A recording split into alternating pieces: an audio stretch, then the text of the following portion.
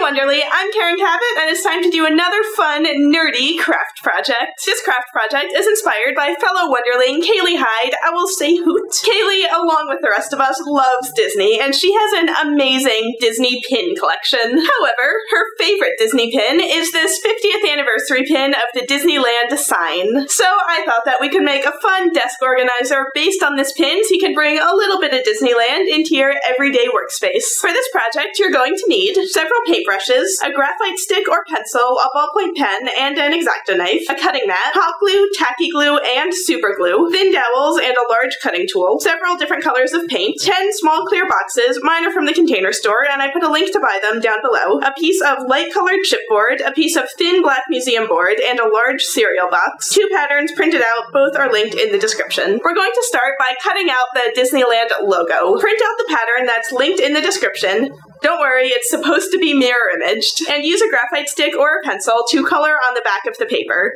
Then place it on top of your black museum board and trace over all the outlines with a ballpoint pen or a sharp pencil. When you remove the paper, you should be able to see the outlines of the letters transferred onto the black board. If you don't have museum board, you can also just trace them onto cardboard and just paint it black. Next, do the same thing, except tracing five flags onto your lighter colored cardboard. Use your X-Acto knife to cut everything out and lay them all out so you can see how pretty it all looks. And now set the black letters aside for a minute. Now mix your paint so that you have red, coral, lime green, bright blue, and silver. Side note, if you just buy colored boxes instead of clear ones, you can skip this step. It's just that the store that I went to only had the clear ones, so I had to paint mine. Use each color to paint two of the boxes and one of the flags. For the boxes, paint the entire inside of the box, but try not to get any of the paint on the top or the outside. Leave all of that to dry and make sure that when the front of the flags are dry, you flip them over to paint the back. Then take your super glue and very carefully glue each letter to the front of one of the boxes,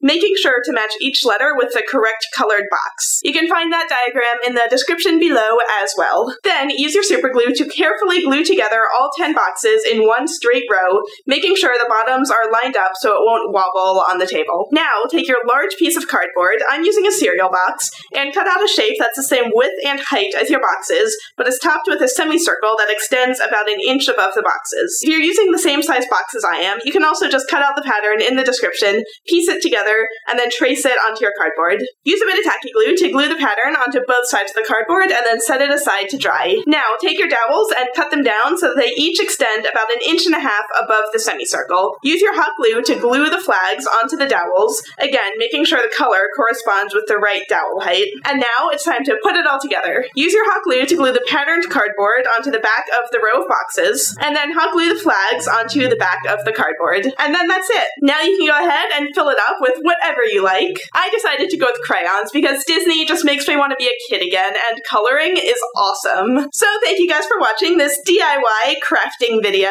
If you guys decide to make your own versions, feel free to send me photos on Twitter or Tumblr. I would love to see what you guys come up with. Be sure to subscribe to the Wonderly channel for more DIY videos and more videos from all of the Wonderly girls.